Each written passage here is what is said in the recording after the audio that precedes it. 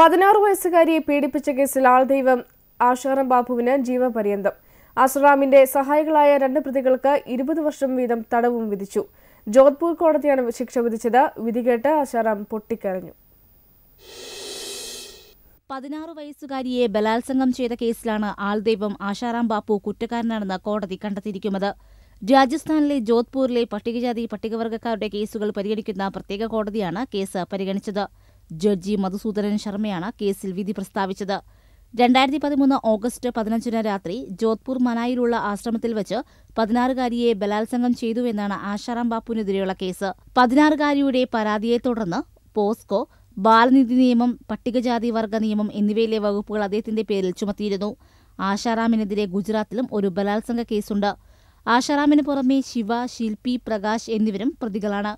ഇവരും കുറ്റക്കാരാണെന്ന് കോടതി കണ്ടെത്തിയിട്ടുണ്ട്.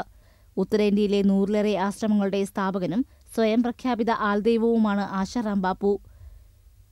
National desk Jeevan.